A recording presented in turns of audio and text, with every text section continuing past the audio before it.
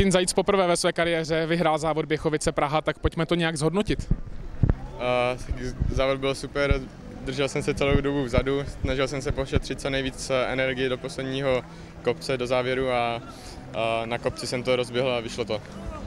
Eh, vy jste běžel ten závěrečný kopec s Viktorem Šináglem, tak přemýšlel jste, kdy se trhnout, jak se trhnout a jak se vám to nakonec podařilo?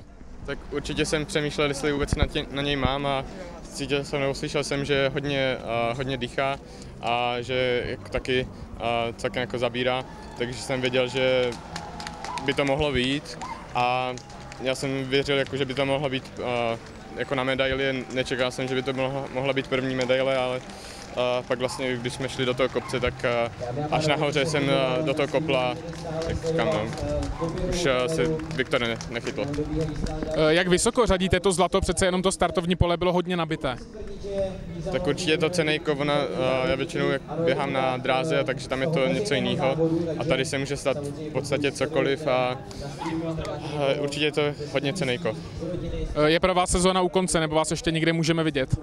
Ještě ne, a ještě za, za tři týdny vlastně běžím v Barceloně půlmaraton, který bude vlastně takový závěr mé atletické sezóny a pak budu mít volno. Děkuji moc a gratuluju. Děkuji.